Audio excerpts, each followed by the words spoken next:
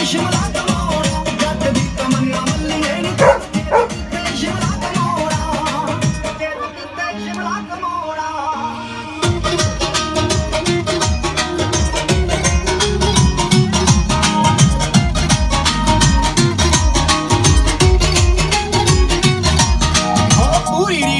मैं तैयार करवाया नी कला कला पुरजा बढ़ा